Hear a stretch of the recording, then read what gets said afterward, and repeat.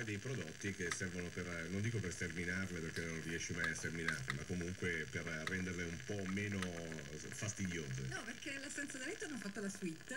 Bene, immagino le notti. Sì, no, guarda, incredibile. Le ciabattate sui muri con cadaveri di zanzaro ovunque. Sì, con le croci, anche la data, le dediche, perché Ho quella capito. più grossa mi era sembrata la mamma, quella più piccola. la Perché mi parlavi di zanzare? No, proprio perché sto, sto grattando nel frattempo e ti chiedo scusa se ogni Sì? tanto mi allontano dal microfono. Detto Sì. questo, visto che eh, non mi si apre internet e non posso prendere la notizia che eh, avevo deciso di commentare con te a questo punto. Direi di passare rapidamente ai saluti.